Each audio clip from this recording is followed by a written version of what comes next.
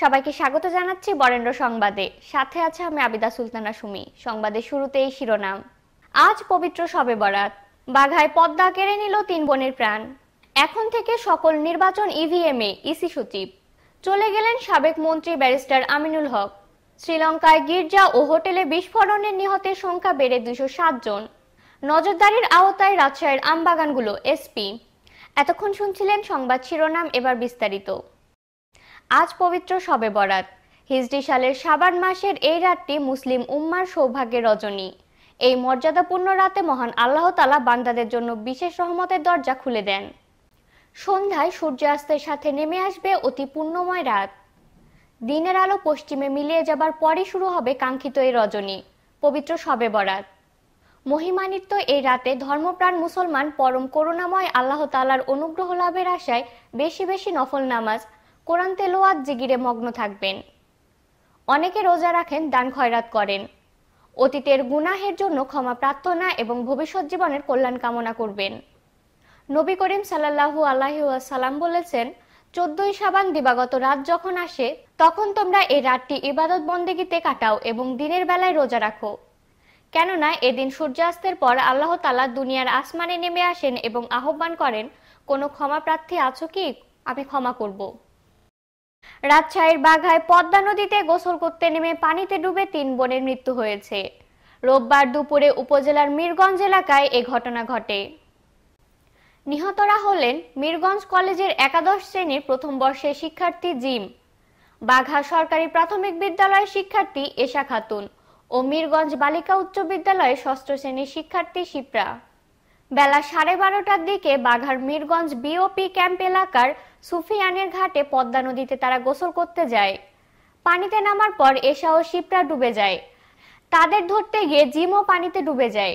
পরে স্থানীয়রা তাদের উদ্ধার করে চারঘাট উপজেলা স্বাস্থ্য কমপ্লেক্সে নিয়ে গেলে চিকিৎসকরা তাদের মৃত ঘোষণা করেন।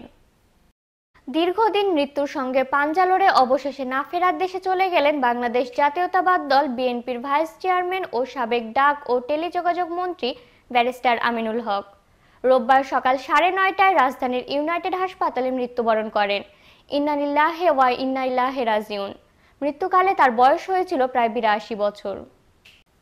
ব্যারিস্টার আমিনুল হকের চাচাতো ভাই মোহাম্মদ আতাউর রহমান বলেন একাদশ জাতীয় সংসদ নির্বাচনের পর তিনি একাধিকবার অসুস্থ হলে সিঙ্গাপুরের মাউন্ট এলিজাবেথ হাসপাতালে চিকিৎসা সর্বশেষ গত এগারোই মার্চ হাসপাতাল হতে ফেরত দিলে ইউনাইটেড হাসপাতালে লাইফ সাপোর্টে ছিলেন। রোববার সাড়ে নয়টায় তার মৃত্যু হয়। ব্যারিস্টার আমিনুল হক রাজশাহী এক আসন থেকে বিএনপির মনোনয়নে তিনবার সংসদ সদস্য নির্বাচিত হন। উনিশশো একানব্বই থেকে উনিশশো ছিয়ানব্বই এবং দু হাজার এক থেকে দু হাজার ছয় সালে বিএনপি নেতৃত্বাধীন সরকারের সংসদ সদস্য ও মন্ত্রী ছিলেন। সবশেষ বিএনপি সরকারের ডাক ও টেলিযোগাযোগ মন্ত্রী ছিলেন। একাদশ সংসদ নির্বাচনে আওয়ামী লীগের প্রার্থী ওমর ফারুক চৌধুরীর কাছে পরাজিত হন। সকল স্থানীয় সরকার নির্বাচনের ভোট গ্রহণ ইভিএমে হবে বলে জানিয়েছেন নির্বাচন কমিশন সচিব হেলাল উদ্দিন আহমদ ইভিএম উন্নত প্রযুক্তিতে সমৃদ্ধ এবং জাতীয় পরিচয়পত্রের মাধ্যমে ভোটাররা এতে ভোট দিতে পারবেন। তবে পরিচয়পত্র না থাকলেও আঙুলের ছাপ দিয়ে ইভিএমে ভোট হবে। রাজশাহী নগরীর একটি রেস্টুরেন্টে ভোটার তালিকা হালনাগাদ কর্মসূচি দুহাজার উনিশ উপলক্ষে নির্বাচন কর্মকর্তাদের সঙ্গে মতবিনিময় অনুষ্ঠানে এসব কথা বলেন। বিভিন্ন নির্বাচনে ভোট কম পড়া প্রসঙ্গে ইসি সচিব বলেন, চাহিদা পূরণ হয়ে গেলে কে সরকার গঠন করল আর কে বাদ গেল এ নিয়ে মানুষ মাথা ঘামায় না।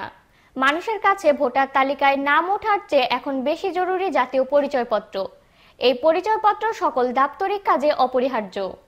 ইসি বলেন, পৃথিবীর যে কোনো দেশের তুলনায় বাংলাদেশের তথ্য ভাণ্ডার উন্নত। জাতীয় পরিচয়পত্রে যেসব তথ্য থাকে, তা কারোর সঙ্গে কারোর মিল নেই। প্রত্যেকের আইরিশ ও আঙুলের ছাপ আলাদা। বিভিন্ন অভিযানে যেসব জঙ্গি নিহত হয়েছে, তাদের আঙুলের ছাপ নিয়েই নির্বাচন কমিশন থেকে পরিচয় নিশ্চিত করা হয়েছে। পৃথিবীর কোনো দেশের নির্বাচন কমিশনই জাতীয় পরিচয়পত্র দেয় না, কিন্তু বাংলাদেশে এটা করা হয়। এজন্য নির্ভুলভাবে তথ্য সংগ্রহ করতে কর্মকর্তাদের প্রতি নির্দেশ দেন তিনি। অনুষ্ঠানে আরও বক্তব্য রাখেন রাজশাহীর আঞ্চলিক নির্বাচন কর্মকর্তা ফরিদুল ইসলাম ও জেলা সিনিয়র নির্বাচন কর্মকর্তা সাইফুল ইসলাম।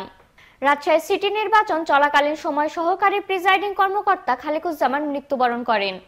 তার পরিবারের হাতে সাড়ে পাঁচ লাখ টাকার চেক তুলে দেন ইসি সচিব হেলাল উদ্দিন আহমদ। এ সময় জেলা প্রশাসক এস এম আব্দুল কাদের উপস্থিত ছিলেন। যে জাতীয় সংসদের গেজেট পাবলিশের নব্বই দিনের মধ্যে শপথ গ্রহণ করতে হয়। সুতরাং নব্বই দিনের মধ্যে যদি শপথ গ্রহণ না করে মাননীয় স্পিকারের কাছে তারা আবার সময়ের প্রার্থনা করতে পারে। মাননীয় স্পিকার যদি সময় দেন, তাহলে ওই সময়ের মধ্যেও কিন্তু শপথ গ্রহণ করা যায়। যদি সময়ের কোনো প্রার্থনা না করে, তাহলে মাননীয় স্পিকার যে কোটি আসনে শপথ গ্রহণ করেননি সেই কোটি আসন উনি শূন্য ঘোষণা করবেন গেজেটের মাধ্যমে। তো ওইটা গেজেট পেলে নির্বাচন কমিশন পরবর্তী নব্বই দিনের মধ্যে ওই শূন্য আসনে নির্বাচনের আয়োজন করবে। বিএনপির পক্ষ থেকে কোনো যোগাযোগ করা হয়েছে? না বিএনপির পক্ষ থেকে আমাদের নির্বাচন কমিশনের সাথে কোনো যোগাযোগ করেন। যাতে ভোটার তালিকার অন্তর্ভুক্ত হতে না পারে এর জন্য রোহিঙ্গা প্রবণ এলাকায়, বিশেষ করে কক্সবাজার, বান্দরবন, খাগড়াছড়ি, রাঙ্গামাটি এবং চট্টগ্রাম অঞ্চলে এরকম বত্রিশটি উপজেলা চিহ্নিত করা হয়েছে। ওখানে বিশেষ কমিটি ইউনু সাহেবের নেতৃত্বে একটি বিশেষ কমিটি আছে। তথ্য সংগ্রহের পরে নিবন্ধনের পূর্বে যাতে কেউ এই বিদেশি কোনো নাগরিক আমাদের দেশে ভোটার তালিকার অন্তর্ভুক্ত হতে না পারে, সেজন্য একটি কমিটি আছে। কমিটি এটা পরীক্ষা নিরীক্ষা করবে। কমিটি যেটাকে সুপারিশ করবে শুধুমাত্র ওই সমস্ত ব্যক্তিরাই ভোটার তালিকার অন্তর্ভুক্ত হতে পারবে, অন্যরা পারবে না।